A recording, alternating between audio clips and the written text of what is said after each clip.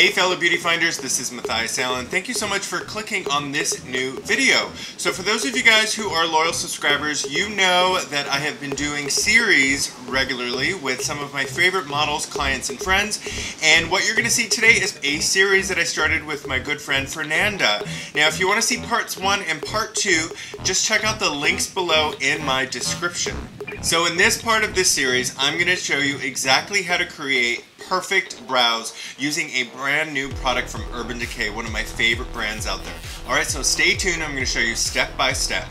So I am so excited to share with you guys a brand new product that I just got from Urban Decay. This is the amazing micro, wait, what is it called again? brow beater, microfine brow pencil and brush. Okay, that's, that's a lot. Okay, I'll just read it. Okay, yes. all right. I want to show you guys how to get those gorgeous brows. Now, I'm using a new product from Urban Decay that I just got, and I'm absolutely falling in love with it. It is the Brow Beater Microfine Brow Pencil and Brush. This is an incredible product, and I can't wait to show you how to create perfect brows. So in part one of this demo, I showed you step by step how to use the brand new Cover FX custom cover drops and how to mix that with your favorite moisturizer in order to get a flawless complexion. Now in part two of this tutorial, I showed you how to highlight under the eye and how to contour in a natural, sophisticated way. And if you haven't seen part three of this series, check it out because I give you a pro makeup artist trick for keeping your under eyes from creasing. Now, let's get into these brows. These gorgeous, full brows. For any of you girls who really want a fuller brow, this is the trick for you. So start with the Urban Decay Brow Beater. It's a microfine brow pencil and brush. It's a two-sided product. It has a spoolie on one side and a very fine point tip pencil on the other.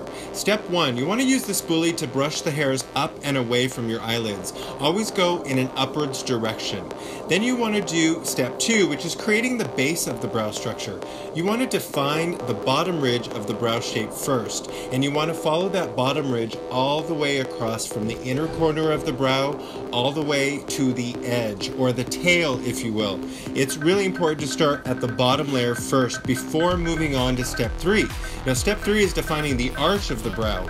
The arch of the brow should have a really strong shape and it should be slightly pointed because that will give you a much more elongated eyebrow and an eye shape.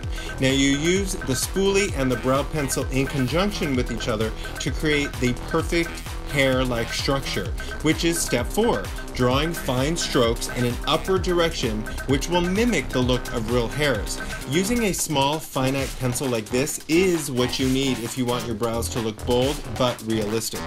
Now, pointed Q-tips are a boy and girl's best friend. If you're doing makeup, you gotta get your hands on some of these pointed Q-tips because they will just remove any of the little excess areas where there is just a little bit too much brow or you went a little too crazy with the color. It's really great to um, clean that up with a pointed Q-tip. Now make sure you come back to my channel every single week because the next two parts of this series are gonna be gorgeous. Eyes and lips, step by step on this gorgeous summer look. Now another thing that I recommend for you girls who really want to take your makeup to the next level is doing a video conference lesson with me. I offer those. If you go to my website, you can check out all the details for a one-on-one -on -one video conference tutorial.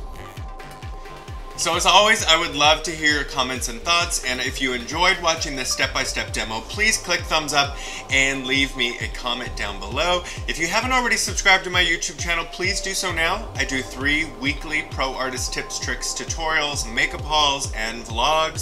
So I would love for you guys to subscribe to my channel. Follow me on all social media at Mathias for Makeup because I Snapchat, I tweet, I Periscope, I Facebook, I Instagram, and everything. So please, please, please do follow me. If you'd like to join my mailing list and find out if I'm coming to your part of the country for a makeup seminar, or if you have any personal questions about how to up your makeup game, go to my website, mathias4makeup.com, and get on my mailing list.